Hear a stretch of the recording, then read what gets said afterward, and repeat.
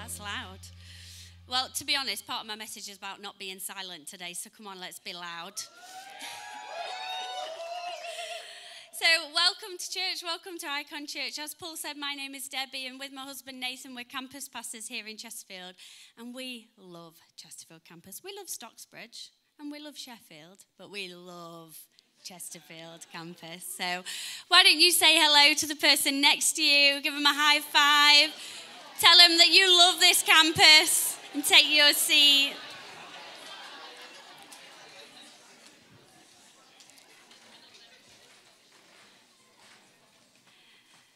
Like Paul said, if you're here for the first time, we want to give you a huge welcome. You're only new once and then you're just part of the family. So make yourself at home, put your feet up, grab yourself a cuppa, just like you would in your own house, because you are now home, which is incredible. And I am really excited for Imagine on Tuesday. I know Paul's already mentioned it, but I want to mention it again because I love Imagine. And ladies, you need to come on Tuesday ready to have fun, ready to have a laugh, ready to um, enjoy yourself because it is going to be fun. We have got some fun planned on Tuesday, and it is a great one to bring your friends to because they would have an amazing time too. So it's going to be great. Hopper 7 here on Tuesday. But today, as you know, it is Palm Sunday. And I just want to take a moment just to encourage you. This week is an important week in our Christian calendar. It's, if you're a follower of Jesus, this is the week, the culmination of our faith and everything that we believe. This week was Jesus' last week on earth. And I want to encourage you to take some time to get into your scripture today, this week, in the run up to Easter. Get into your Bible, read the stories around Palm Sunday and Good Friday and Easter Sunday.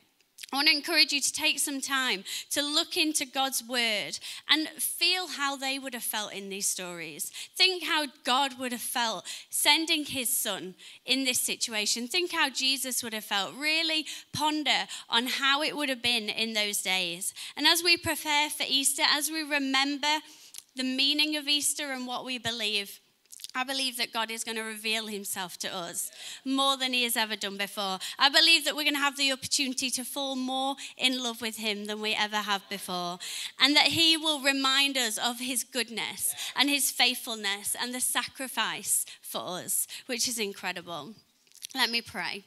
Yes, Lord God, I thank you for today. I thank you that we can be in your house. I thank you for Palm Sunday. I thank you, Lord God, that Jesus came and brought us victory, Lord Jesus. I thank you, Lord Jesus, that we can praise your name, Lord God, that we can praise you and glorify your name, Lord God. We sing Hosanna today. We sing Hosanna and we lift you high and we say, God, save us. In this moment, speak to us and save us, Lord God, as we hear your word. I pray that no heart will leave this place today the same. In Jesus' name, amen. Amen. So we're going to have a look at Luke 19, 28 to verse 40. If you've got your Bibles with you, you can turn. We're going to look at the NLT version, and it says, After telling a story, Jesus went on towards Jerusalem, walking ahead of his disciples. And ha- as he came to the town of Bethphage and Bethany on the Mount of Olives, he sent two disciples ahead. Go into that village over there and he told them, and as you enter it, you will see a young donkey tied there that no one has ever ridden before. And uh, in my version, it says um, a colt. You will find a colt there. And I had to look this up because I was like, what on earth is a colt? Surely a donkey is a donkey. Apparently not. A colt is a young male donkey that specifically is 1 to 14 years old. So we're going to call it a toddler donkey. Okay? It's a toddler donkey. It's a male one, not a female. A female is called a filly, just in case you wanted to know. So, as they were untying it, somebody said to them, um, Why are you untying that coat, colt? And the disciples simply replied and said, The Lord needs it. So they brought the colt to Jesus and threw their garments over it for him to ride on. As he rode along, the crowds spread out their garments on the road ahead of him and others spread out leafy palm branches that they had cut out from the fields. And when they reached the place where the road started down the Mount of Olives, all of his disciples began to shout and sing as they walked along praising God for all the wonderful miracles that they had seen. Blessings on the King who comes in the name of the Lord, peace in heaven and glory in the highest heaven. Put but some of the Pharisees um, among the crowd said, Teacher, rebuke your followers, for they are saying things like that. And Jesus replied, If they kept quiet, the stones along the road would burst into cheers. Or in other versions, it says the stones would cry out. My message today is called Will the Rocks Cry Out? And the whole thought around this verse and this message today, and my question to you this morning, Ikon Church, is Will you choose praise or will the rocks cry out in your silence? We have a choice today, Ikon Church. And I think we've already made that choice, to be fair, because worship was incredible and no one was silent in this room this morning. But we have a choice today that we can choose to praise or we can choose to be silent. And if we're silent, it doesn't mean God doesn't get the praise because the rocks will cry out on our behalf. But I don't know about you, I don't want a rock to cry out on my behalf. I want to praise God and give Him all the glory and the praise myself. You know, growing up when I was a teenager, and even a little bit still sometimes now, I was very easily influenced by popular opinion and culture and fear of not being accepted. When I was younger, when I was at secondary school, I went through a phase of listening to music that I didn't like, wearing clothes that weren't my style, believing things that I didn't really believe having values and principles that weren't me and that I hadn't been brought up on. Even drinking things that I didn't like the taste of. That's one of the ones I still do now. I go to a bar. I like the look of a cocktail and a gin and tonic. I like it when it's got the floaty fruit in it. Don't always like the taste of it, but it looks pretty and I like it. Sometimes I order a mocktail, but it has to look as good as those ones. But anyway, I can even be um, so easily influenced that when I was younger, to try and fit in with certain crowds and certain people, I, I didn't smoke. My parents didn't smoke. I didn't even like to smoke. But because I hung around with people that did, I used to carry in my blazer pocket a lighter and a packet of cigarettes. I know, exactly. It is stupid. It is so stupid, but that's the lengths that I went to and that I thought I needed to go to to be accepted, to feel like I fit in. I was basically a sheep. I just followed the crowd when I was at secondary school. I chose to silence myself for the sake of others. I chose silence. And that weakness of mine often crept into church as well. This weakness, um, I began to act a certain way at church. I began to pray and worship a certain way at church just so that I thought I was doing the right thing, so that I could be accepted, so that I could feel like I fitted in. But church is the one place where you don't have to feel like that. You don't have to be something you're not or do something that you're not. You can be you because you are accepted in church. And that praise and that worship, it wasn't genuine. It didn't change me, it didn't change my life, it de- definitely didn't glorify God. My praise and positions in life did not mix. My praise and the people I hung around did not merge. My praise and my path did not meet. They were separate. So I want to ask us today, church, how do you view your praise? How do you engage in worship when you're praising God? We've done it already today, and some of you are maybe sitting there thinking, well, what did I do? How did, how did I do it? Sometimes we get so caught up in the moment and in the spirit and in the presence of God that we, we just do it naturally. Maybe you were singing, but were you singing with your mouth or your heart? Maybe you were lifting your hands, but were you lifting your hands as surrender to God or surrender to church culture?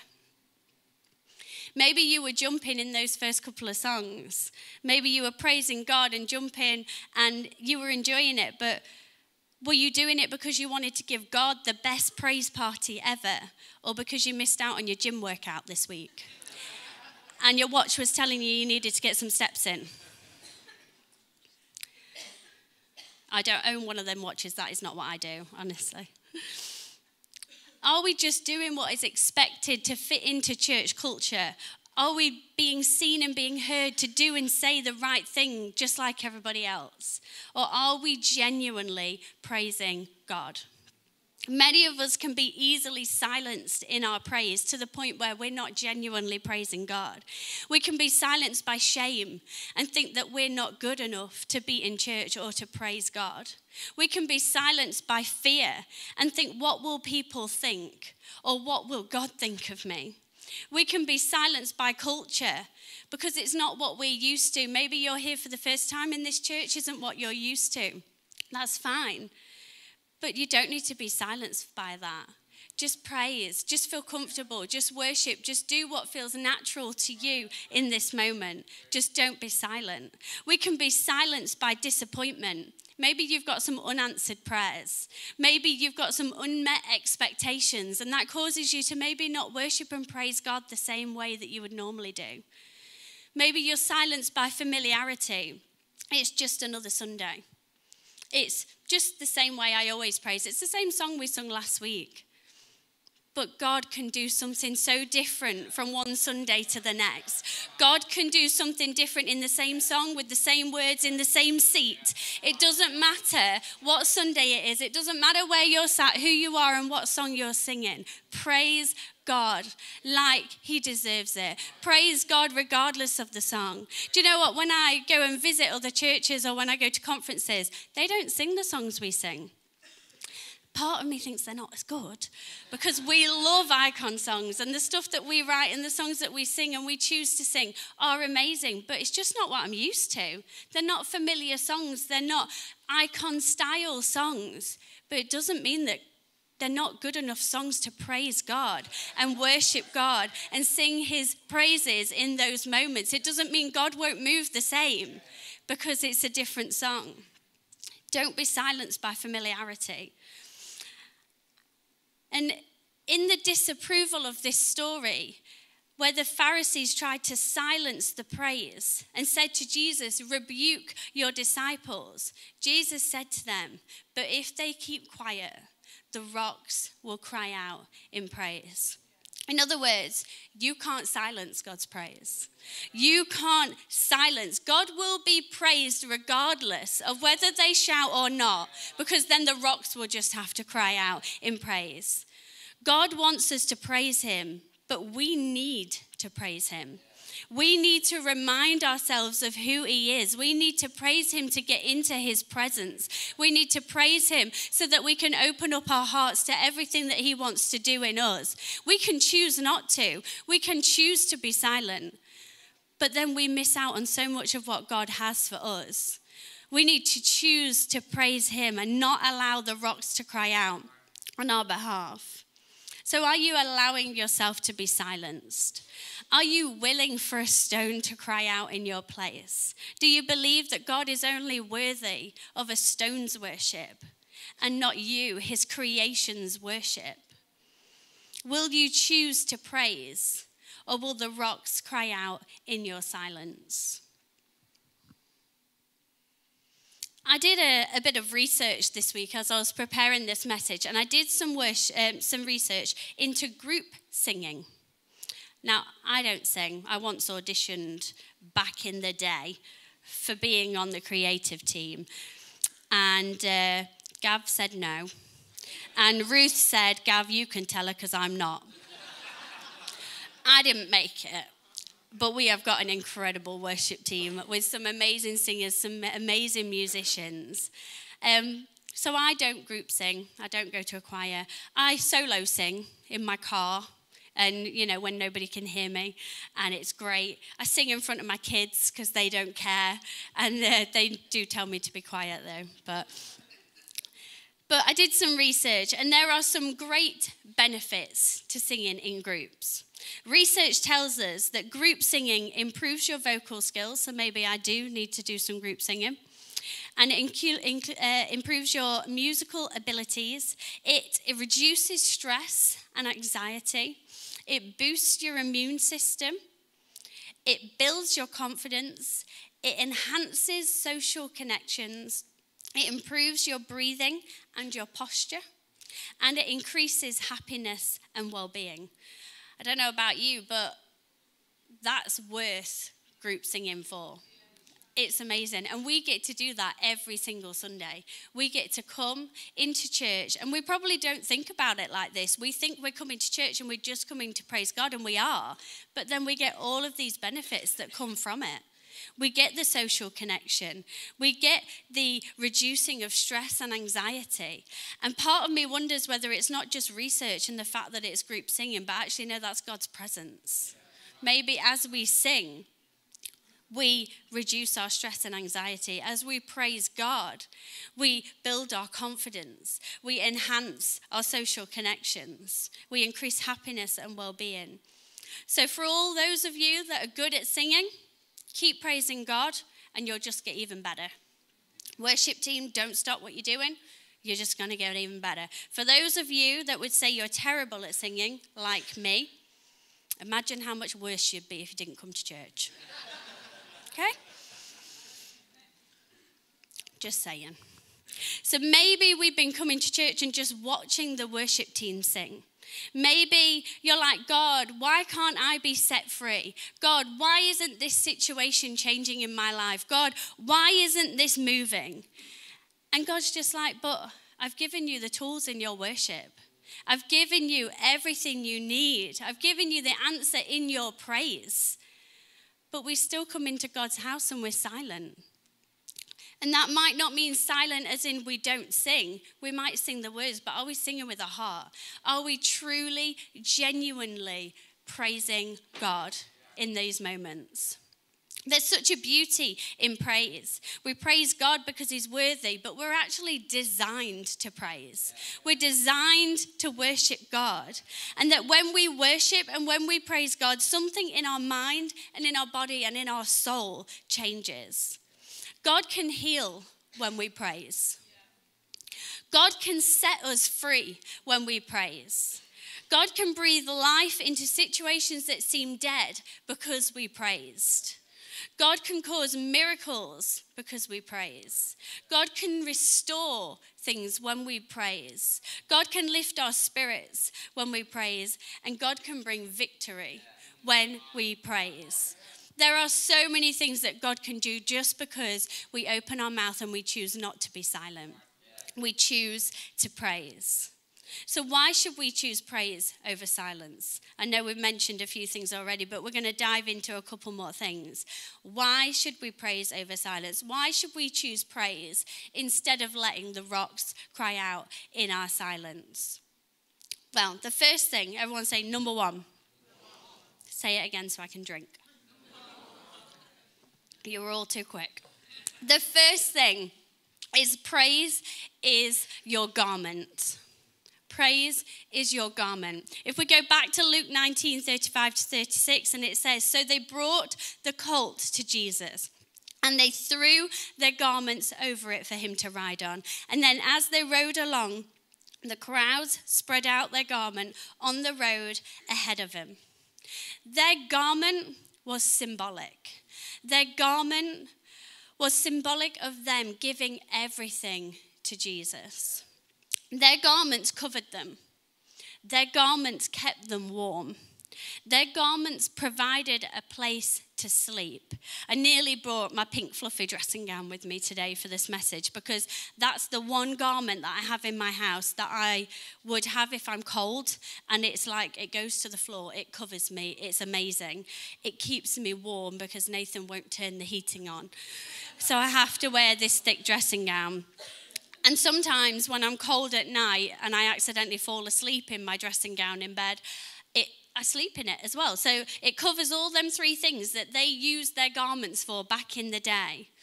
But they took off their garment and they laid it on the floor as a sacrifice in honor to say, everything that I have, this thing that keeps me covered, this thing that keeps me warm, this thing that I need to sleep, I give it to you. You can have it.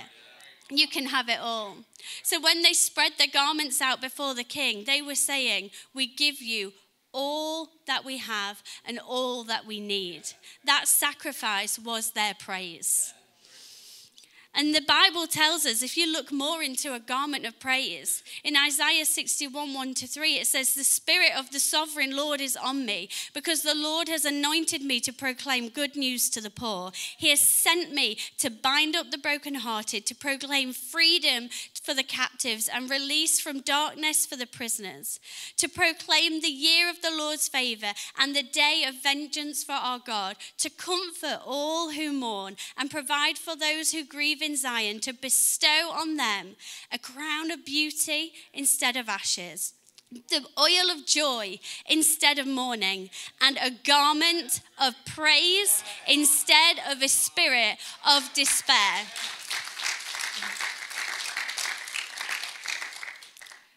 Praise is our garment. We have been given the garment of praise so that we can use it instead of feeling despair, instead of feeling negative feelings, instead of feeling worried. We can put on our garment, our garment of praise, and we can choose to praise God, to take away those feelings and proclaim that God is over it all, that God is greater than it all.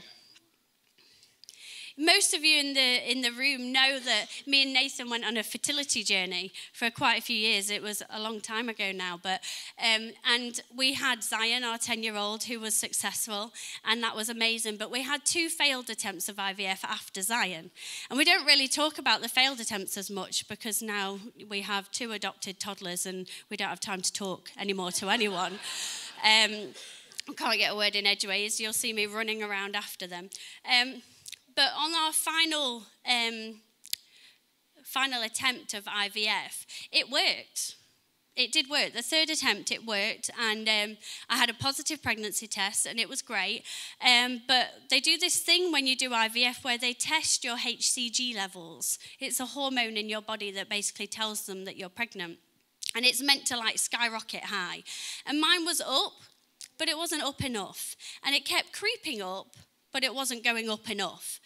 And uh, it was confusing. We didn't really know what was going on, but we were positive. We were, you know, giving it to God and believing for the best. And so the short version of this story is Friday, we went and had a scan, and there was nothing visible on the scan. Which was fine. It didn't necessarily mean anything, um, but they were concerned that it was a failed pregnancy but we didn't believe it. We carried on as normal. And this happened to be the same weekend as our brother and sister in law's wedding, Sam and Rachel. And uh, it's a funny story. So the doctor wanted me to come in on the Saturday to basically stop the pregnancy. And I was like, yeah, I can't do that. That's Sam and Rachel's wedding. We're having a lovely little wedding ceremony, going out for a family meal. They're legally getting married. He was like, that's fine. Okay, that's fine. Come back Sunday.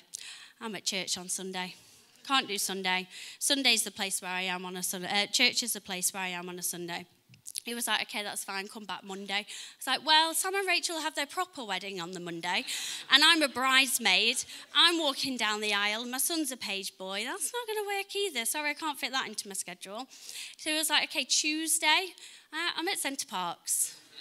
We're booked to go to Center Parcs after the wedding, so I can't do that. He was like, fine, do what you want to do.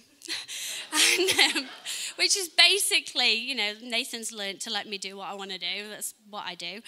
Um, and so he just said, just come back if you need to come back, it's fine. Just ring me if you have any problems. Um, but the point to this story is that on the Sunday we came to church. In and amongst all this chaos and, you know, the lovely weekend of the wedding, but the chaos of what was going on in our private life, we came to church on the Sunday morning. And then after church, Nathan went and played a football game.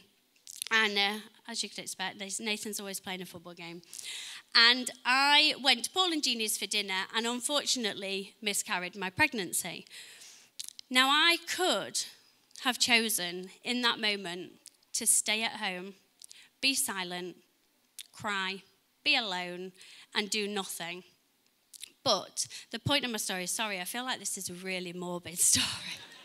there is a really good, valid point to this story. Um, but I chose to come to church. And um, in that moment, I think I was sat there, um, I was numb. I couldn't really feel anything. I certainly wasn't happy. Didn't really want to be here. Didn't really want to talk to anyone. But you know what? That was where I needed to be. I was far better being in God's house and choosing praise over silence. And maybe my head wasn't fully in it. Maybe my heart wasn't fully in it. But I still chose church, chose praise, chose to be in God's presence instead of going home. And there are some situations in life that we go through where we could quite easily say, I'm going through so much, I can't get to church this week. I don't think I can handle facing people this week. I don't think I can be in church praising this week. I'm just going to cry. I don't think it's the right place for me to be. Or I think I'll type my life story onto social media because I'll get loads of support and encouragement on social media, but actually, that's not the place where we need to find it the best place where you can find what you need, find peace, find healing, find restoration, find everything that you need in that moment of need when you are in desperate need of God's presence is in church, praising Him. Praising Him.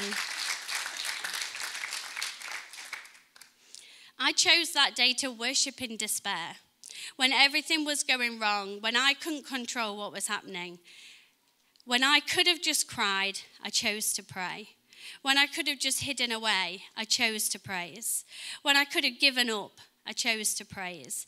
When I could have been silent and had just allowed the rocks to cry out, I chose to praise. I chose to make sure that my inner attitude was to praise. A garment of praise is a representation of a person's inner attitude. So, what will your attitude be in those situations? What would your attitude be if you had gone through what I went through? There's no right or wrong answer. There's no judgment, there's no criticism. And I don't tell you this story to make myself look good and be like, wow, she came to church after going through all of that. I don't say it for that reason. I tell my story because I want you to know you're not alone. On a Sunday where you walk through those doors and you think you can't handle it, there's 10, 20 other people that are probably feeling the same. When you come to church on a Sunday and you think, I'm just going to cry the whole way through this service, good, let it out. Give it to God. Cry it out. Praise Him anyway through the tears because we've all been there. We've done it. I want you to know that this is a place where you can feel that you can be real and honest with God, that you can praise regardless of your circumstances regardless of what you're going through. You don't have to put on a front. You don't have to pretend to be okay. You don't have to stay at home because you think that we can't handle it. No, you need to be here. This is where you need to be in those moments. Don't think that you can't come because you're too emotional. Don't think that you can't come because you're not in the frame of, right frame of mind. Don't think that you can't come because you might ruin the atmosphere with your tears. You can't. You're not in charge of the atmosphere. God is. So don't worry about it. Wearing this new garment, this garment of praise, it aligns us with God's heart. It aligns us with His Spirit. It aligns us with his plans and his purposes so that we can fulfill everything that he has for us in our lives. So, church, will you choose praise as your garment? Or will the rocks cry out in your silence? The second thing is praise is your thanksgiving. In Luke 19 37 to 38, it says, When he reached the place where the road started down the mountain of Olives, all of his followers began to shout and sing as they walked along, praising God for all the wonderful miracles that they had seen. Blessings on the King who comes in the name of the Lord, peace in heaven and glory in the highest heaven. They're shouting this psalm. This psalm is originally from Psalm 118 26, and they're shouting this psalm, shouting praises to him. And the purpose of this psalm is a profound collective of gratitude to God. It's gratitude to God but it's designed to be done in community. These psalms were sung and they weren't meant to be sung individually. These psalms were written to be sung corporately, to be sung in community, to be sung together. Um, there's an amazing pastor and author and international speaker called Paul David Tripp. And he says, Corporate worship is a regular, gracious reminder that it is not all about you. You've been born into a life that is a celebration of another. What an incredible quote. And in actual fact, neurology tells us that your brain can't be grateful and anxious at the same time. It's not possible.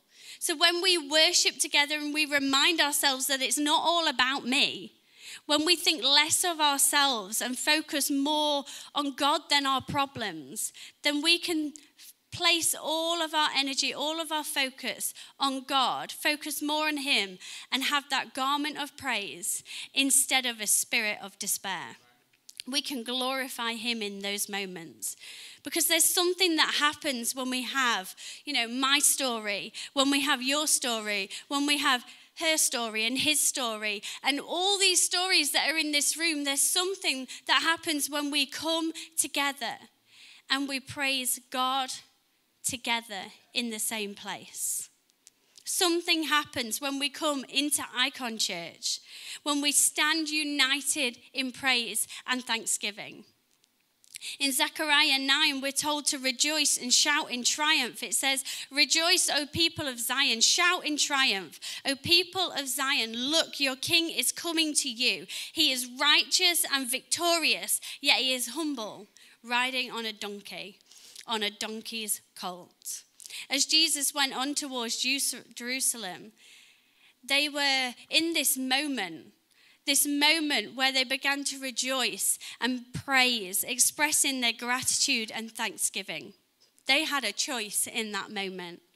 They had a choice as Jesus came down on that donkey. They had a choice to be silent or they had a choice to praise. And they chose to praise. Ikon Church, will you choose to rejoice? Will you choose to shout? Will you choose to praise as your thanksgiving? Or will you let the rocks cry out in your silence? And then the last thing praise is your garment, praise is your thanksgiving, and praise is your help. in Luke 19:38 as we've already read it says blessings on the king who comes in the name of the Lord peace in heaven and glory in the highest heaven in the same story, but written in the book of John instead of in the book of Luke. That same part of the story says in verse 13, it says, they, look, they took palm branches and went out to meet him, shouting, Hosanna! Blessed is he who comes in the name of the Lord, blessed is the King of Israel. When you separate the word Hosanna, the Hebrew word Yasha, which means deliver or save, and Anna, which means beg. You combine them together, and the English version of the word Hosanna literally means, I beg you to save. I beg you to save. Please deliver us. Please deliver us. When we say Hosanna, it's a cry for divine help. It's a cry for divine help. And it came to be a figure of speech in those days for God's deliverance, for praising God for his deliverance. And so, as Jesus rode into Jerusalem and the crowds were perfectly right in shouting, Hosanna, they were acknowledging Jesus as their Messiah. And they were crying for salvation. They were recognizing Jesus and knowing that he was able to give them the help that they needed, that he was able to help them. And uh, you might remember that story of Paul and Silas as they were stuck in prison and they started praying and singing hymns to God. And the other prisoners were listening, and then suddenly there was a massive earthquake, and the praise and the shouting had caused the prison to shake its foundations. All the doors immediately flew open, and every chain on every prisoner fell off. I want to say today, church, that if you feel like you're in a prison, praise can free you from that prison.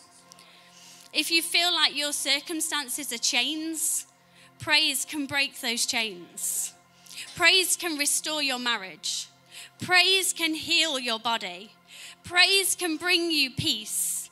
Praise can answer your prayers. Praise can direct your path. Praise can cause miracles. Praise can open doors, just like it made the doors swing open on that prison. Praise has power, but that praise comes from our mouth, which therefore means our voice has power. Each and every single person in this room matters, and your sound, your voice, your praise matters. Each and every single one. And like I said earlier, when you're feeling like you're in despair, when you're feeling like you're stuck in challenging circumstances, when you feel like you can't worship, get yourself to church. Get yourself to church, the place where you can praise and sing Hosanna over those situations, where you can stand in community and praise Hosanna over your situations. Hosanna crying for divine help. And it doesn't matter how you look, it doesn't matter how you feel, it doesn't matter what you do or what you say. No one is watching because we're all doing the same. We're all just praising God. That's what we're here for. There's authority in your voice. There's power in your voice. There's healing in your voice. There is help in your voice. You haven't got to be the best singer. You haven't even got to be singing in key. But if you're going through something, if you need God's help, you need to praise for the help. You need to get that breakthrough, and you might need to be the loudest singer in the room. I don't know about you, but when you're feeling desperate for something, when you're um, so passionate about something, you get louder and louder. I'm sure they did at the Chesterfield game yesterday. I'm sure it was loud. Maybe we need to get loud and passionate about our situations. Maybe we need to get loud and passionate about asking for God's help in our lives, about using praise for help, praising God. When things get harder, praise louder. When things feel like they're not going your way, praise louder. When things feel like that they're coming crashing down on you or you can't see a way through, just praise louder when it feels out of your control, then let God do it and just praise louder. You may need to say to yourself, I don't care what my neighbor thinks. I don't care what the people around me think. But if I come to the house of God, I will not be silent. I will not let a rock cry out for me. I will lift up praise and lift up my worship. I will praise like the breakthrough is already here. I will praise as if I'm already healed. I will praise as if the help has already come. There is help in your voice, there is help in your praise. But will you choose to praise as your help, or will the rocks cry out in your silence? Come on, church, let's stand together. In a minute, we're going to praise together. We're going to praise God and we're going to worship, but we're going to praise as if it's our garment. We're going to praise as if it's our thanksgiving. We're going to praise as if the help is coming. We're going to praise. And so, all over this room, I don't know where you're at. I don't know what's going on in your world. I don't know what you walked into church with today. But God still requires you to praise. God still wants you to praise. He requires something from you. He wants to speak to us. He wants to help us. He wants to move us. He wants us to reach out to Him, and that requires us to praise and cry out. You know, I'm not the same person today that I was when I was a teenager all of them years ago. I am not so easily influenced and silenced anymore. I now choose to praise over silence. I now choose to praise. And today, you have the same choice. Whatever it is that is going on in your world, you can choose praise or you can choose silence. You can choose to praise right now in this moment, or you can choose to just use your mouth and not your heart. You can choose to just lift your hands but not actually surrender. You have the choice today to praise. So, all over this room, with every head bow and every eye closed, I just want to give you a moment to respond to God. Respond in this moment. Maybe today you need to pray to God that He would give you a garment of praise instead of despair. Maybe today you need to thank God that every, for everything that He has done, but pray that He does it again. Maybe today you need to praise God and pray, God, help me. Hosanna, Hosanna. Maybe there's some people in this room that need to just sing Hosanna over and over again. Hosanna. A cry for divine help in whatever situation you need God to move in. God, today, as we have our heads bowed, Lord God, and we surrender to you this morning, Lord God. God, we choose praise as our garment. And we pray, Lord God, that you would replace fear and anguish with hope, that you would align us with your plans and your purposes. God, as we choose praise as our thanksgiving this morning, God, we believe that whatever you did before, you can do it again.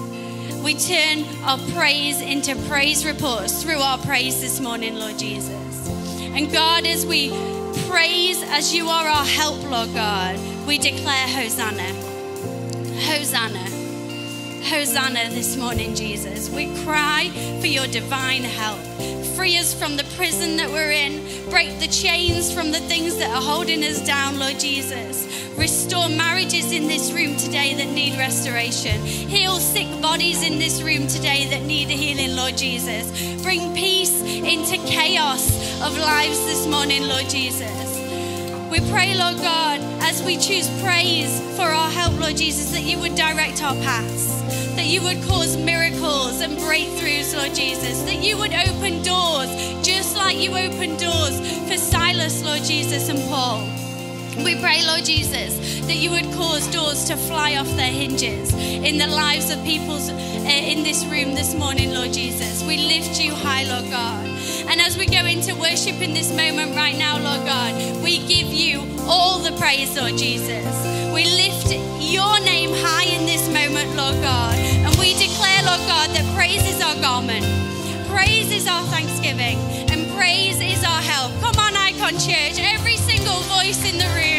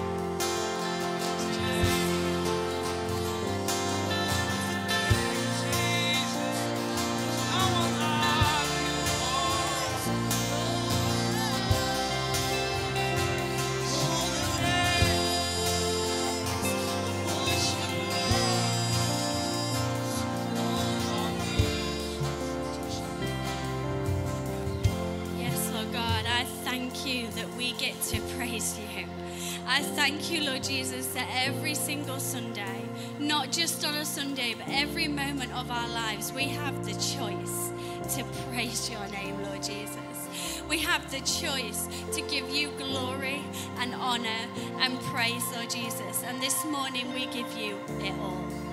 We lay down our garment, Lord Jesus, and we give you everything, Lord God. We praise your name and we honor you, Lord Jesus.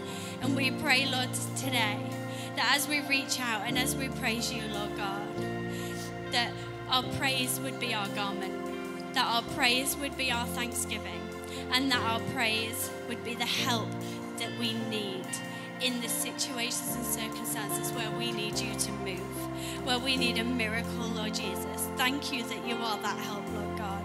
And I pray for anyone in this room today that requires a miracle, that requires that breakthrough, that requires you to move lives, Lord Jesus. Maybe there's someone here today that felt that they couldn't be here, but they came anyway. I pray, Lord God, that you would just move in their life today, Lord God. I pray, Lord Jesus, the circumstances and situations in this room that feel out of our control, Lord God, I thank you, Jesus, that you are in control.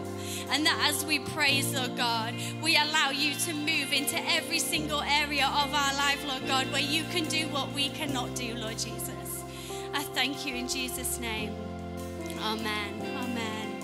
And maybe you're here today and we've been talking about Jesus, but you've not yet made the decision to follow Jesus.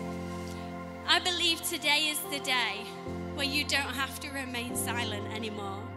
Today is the day where you can choose praise, where you can choose Jesus. Maybe you've tried to do life on your own. Maybe you've tried to fill the void of what you think is missing, but you've not been able to fill it. Maybe you've tried being silent, but it is not working.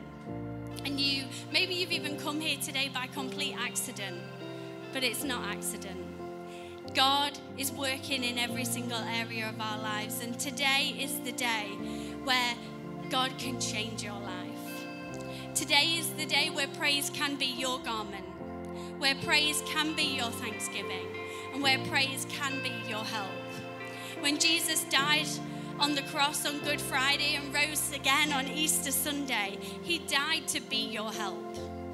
He died so that you could have a relationship with God, so that you could have this connection, so that we don't have to do life alone, that we can be in relationship with God. So, in a moment, with every eye closed and every head bowed, I'm going to count to three. And if that's you today, you've never made this decision, but you want to begin a relationship with God and you don't want to remain silent anymore, and you're saying that you want God in your life, then after three, just raise your hand in the air.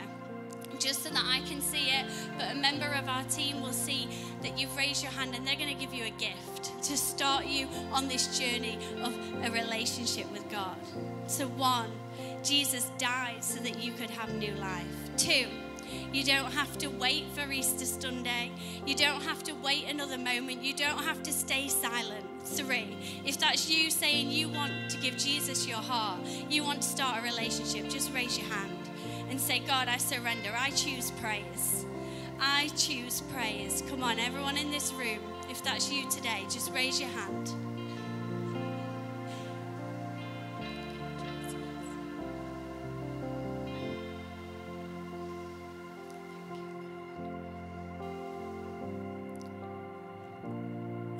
Church, can we celebrate with everyone that just made that decision for the first time? Come on.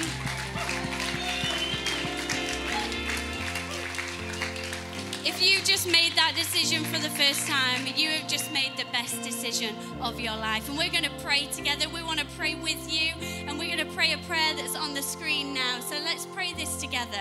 And let's pray it not just with our mouths, but let's pray it with our heart. And let's pray it together. Ready?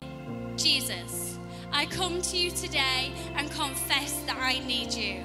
Please come into my life and forgive me of all my sins. Jesus, be my Lord and Savior. Thank you for giving me a brand new start.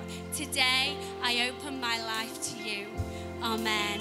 Amen. Amen. Come on, let's give God a massive shout of praise this morning. Come on. Thank you, Jesus. give you all the honor and all the praise. Amen. Amen. Well, Paul, I don't know how much time we've got because I got way too into that message. I would love to worship again. I'd love to party out. I don't know what we can do. Can you uh, tell us I, what I we think can we do? can do something. Let's do something. What I want to say is that if there's anybody and you, you want prayer, we'll have a prayer team down here. They're ready. And uh, you can come forward. We're going to close the service. Like, we'll do something. We'll put it in your hands. I think. Well, I actually, like- Paul, well, it's all it's all in these guys' hands because they need Yes, to choose not to be silent. Yeah, very good. All right. Church, don't rush off afterwards. We've got tea, coffee, cake. If you're new, we'd love you just to go through the doors, turn left. We've got welcome area. We'd just love to get you to know you better. We'll bring some tea, coffee, and cake to you. We're going to finish big heading into Easter week. Actually, what, what an incredible message that was, by the way. Let's just thank Debbie. If you need, if you need some prayer, if you want prayer for anything that's been said through that message, come forward. We've got a great team here willing to pray, stand with you personally. So don't rush off. Let's have tea, coffee, cake, but we're going to party out. Come back tonight, 6 p.m. Don't forget your cash because we're doing that bake sale for getaway and uh, and that. But um, right, have you had enough time? They're ready. They're ready. Let's just thank them that they're ready and let's close our service.